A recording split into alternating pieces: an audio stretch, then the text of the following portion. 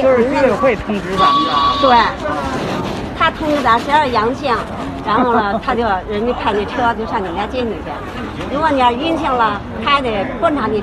这是咱来的都是去过呃那个新发地，都是去过新发地的，对对对。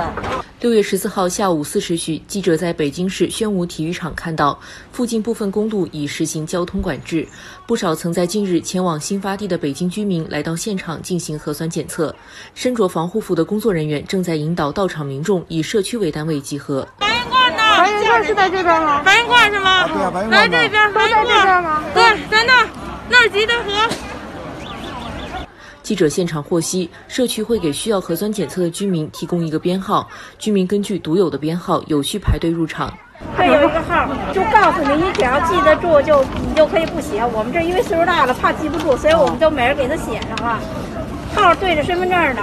二杠幺七幺，进地，进地。体育场中，居民由社区工作人员带领排队等待核酸检测。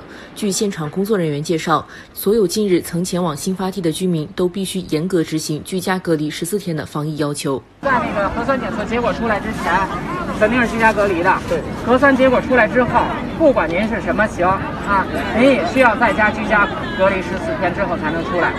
先咱们先把核酸检测做完，因为在出结果之前，大家肯定寸步不能离开家。请问一下，这个结果大概什么时候能出啊？不知道，我回答不了这个问题。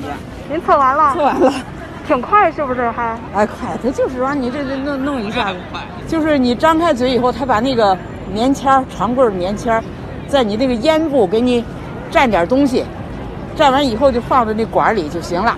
据北京市疾病预防控制中心当天发布的消息称，六月十四号零时至七时，北京市新增新冠肺炎确诊病例八例，病例发病均与新发地市场有关。据悉，北京市近几日确诊病例累计已有五十一例。